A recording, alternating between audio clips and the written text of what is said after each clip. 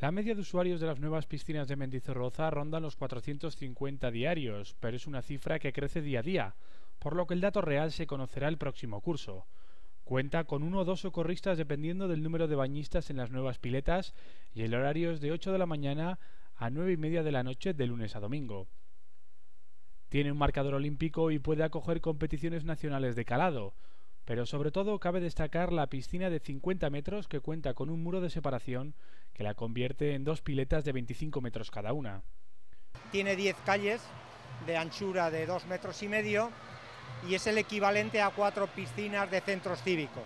A destacar el tabique móvil, la versatilidad que tiene para cambiar de 50 a 25, la anchura de las, de las propias calles, dos y medio, frente a las de los centros cívicos que son más estrechas.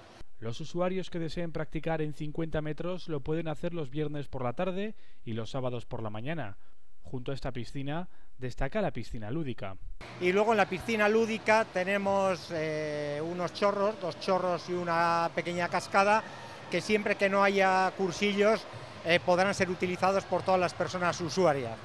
Además está equipado con una silla de minusválidos, una silla transportable que se puede coger a la persona que tenga dificultades de movilidad, se le puede coger en el mismo vestuario y meterla en el punto de la piscina que quiera podrán acceder las personas abonadas o aquellas que cuenten con cualquiera de las formas de acceso en vigencia a las instalaciones deportivas municipales.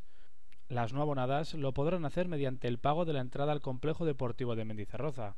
El perfil del usuario aquí, debido a la profundidad de la piscina, el mínimo es 1,60, entonces el perfil normal es de personas que vienen a nadar, a hacer metros, independientemente de que sean o no eh, nadadores federados.